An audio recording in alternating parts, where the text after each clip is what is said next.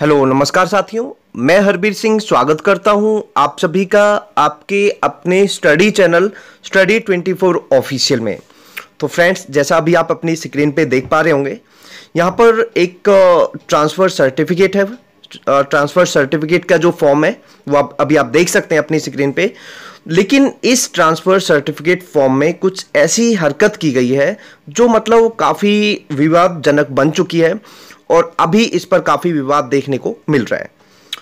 तो अभी इसमें क्या है? इसमें एक ऊपर लिखा हुआ है छात्र का नाम जाति सहित यदि हिंदू है या कोई आ, मतलब अलग धर्म है अथवा धर्म। तो फ्रेंड्स इसमें क्या है? अस्मिता देवी और इसमें सीधे तौर पर जाति का नाम लिखा हुआ है जो कि चमार यहाँ पे चमार शब्द का प्रयोग किया गया है। तो इस पे क्या है? इस पे काफ़ी विवाद देखने को मिल रहा है और ये चीज़ें कहीं ना कहीं जो ट्रांसफ़र सर्टिफिकेट फॉर्म है, इसमें ये चीज़ें मतलब खासतौर पे गलत दिखाई दे रही हैं। ये चीज़ें नहीं होनी चाहिए। इसके बाद एडवोकेट अशोक अग्रवाल सर ने इस पर अपने विचार ज़ाहिर किए हैं, अपने विचार दिए हैं। अभी आप देख सकते हैं उन्होंने क्या कहा है।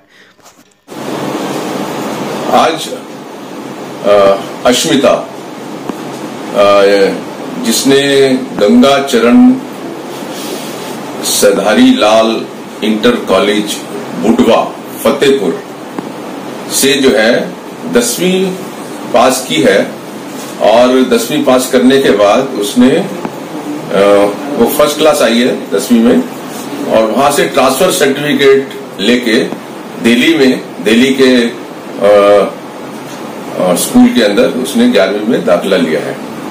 तो ये गंगा चरण सुधारी लाल इंटर कॉलेज ने उसको एक ये ट्रांसफ़र सर्टिफिकेट इशू किया है।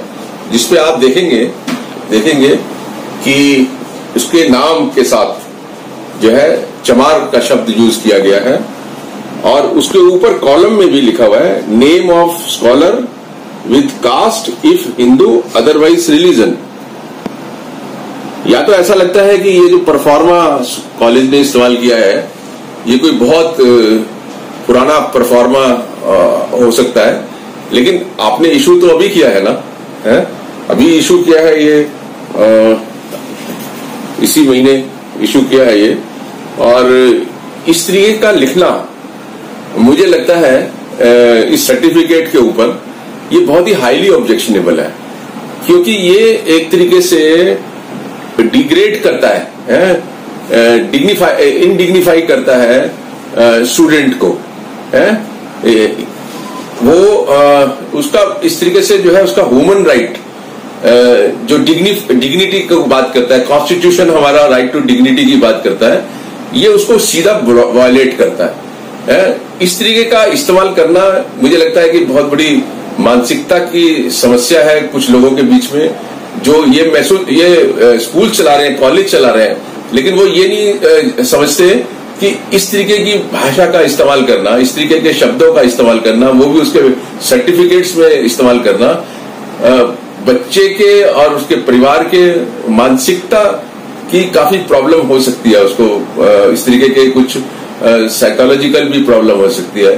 तो किसी का भी अधिकार नहीं है कि इस तरीके से बच्चों को जो है डिग्रेड किया जाए। उसका ह्यूमन राइट की वॉलेशन है।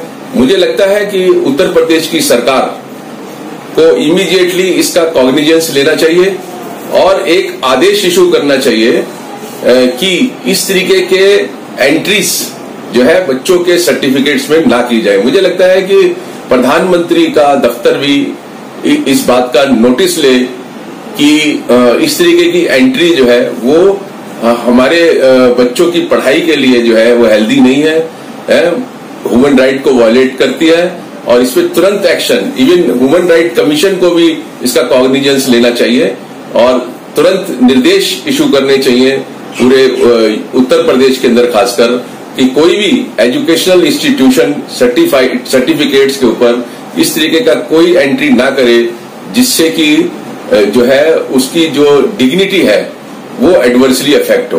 तो मैं समझता हूँ कि उत्तर प्रदेश की सरकार, नेशनल ह्यूमन राइट कमीशन और प्राइम मिनिस्टर का दफ्तर इस मामले को सीरियसली लेगा और इसके ऊपर तुरंत कार्रवाई करेगा।